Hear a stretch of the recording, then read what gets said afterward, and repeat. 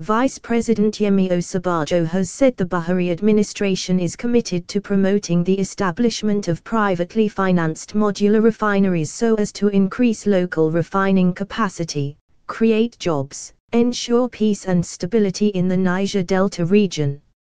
Follow at on Twitter.